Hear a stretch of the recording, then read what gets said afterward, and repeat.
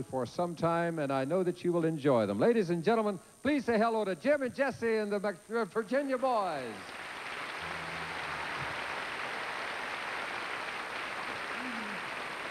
Uh, thank you very much, Jimmy Ed. We want to mention this uh, next week. We're going to be over in uh, Greenup, Kentucky.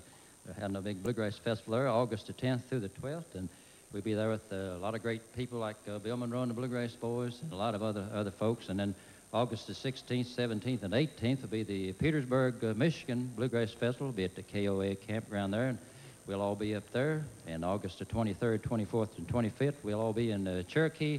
North Carolina for their annual Bluegrass Festival over there. So we hope you folks will be with us.